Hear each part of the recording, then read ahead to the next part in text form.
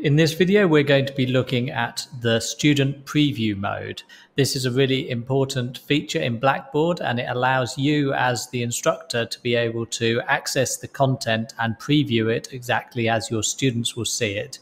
You can even interact with the uh, content and participate in it and try out every aspect of it. So in order to enter this mode, we go to the bottom of the left-hand menu and click on Student Preview and then Start Preview.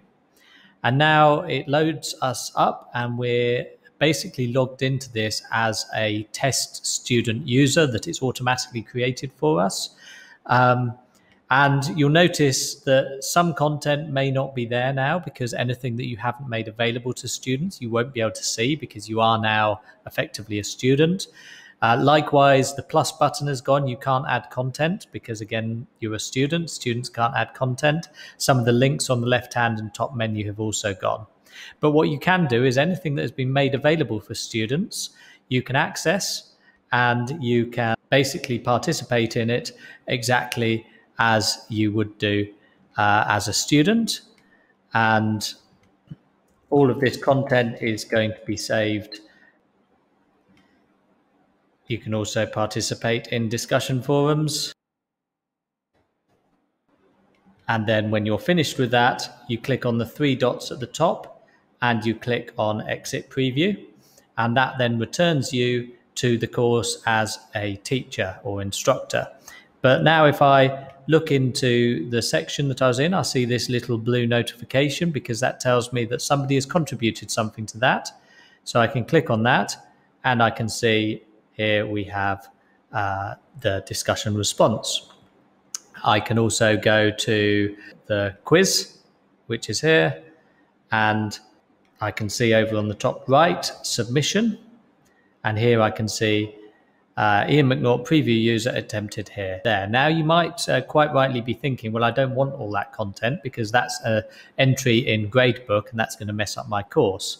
Well, there's an easy way to deal with that. If you click on enter student preview mode and you go back into student preview. You may have noticed when I clicked on these three dots, we've got exit preview. You've also got reset preview.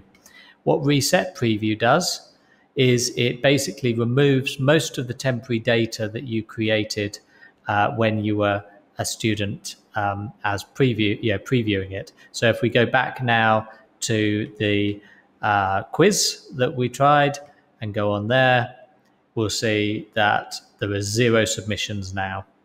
If we go to the discussion forum, we will see there is an anonymous one there uh, because discussion posts and messages, anything communication related, is not actually removed. So you need to keep that in mind. You can, of course, go and delete it. Um, but anything that is connected to grades, like uh, quizzes, all of that is removed. Uh, and you can see on the Blackboard help page, it specifies exactly what is and what, what is not removed. Now, one slight problem with the approach you've seen so far is if your course is open, which means students are actively uh, part of it, you, if you want to use the student preview mode, you have to make that content available to students first because the stu student preview user is a student. Uh, but that also means that this potentially unfinished piece of content is then accessible for that period of time by all students. So there's two things you can do there. Uh, one way of dealing with that is to make the entire course temporarily private. You do that from the front page then you can just click complete uh, and make course private. And then all of the students enrolled will still be there. They just won't be able to access it. And you can use your student your preview student without them seeing it. The other approach if you don't want to make it private is because you are actually a user as preview user you can go down and something that is hidden from students you can instead of making it visible you can do release conditions and then you can say specific groups or members, and then you can select your preview user, which will be your name underscore preview user, and you can click save.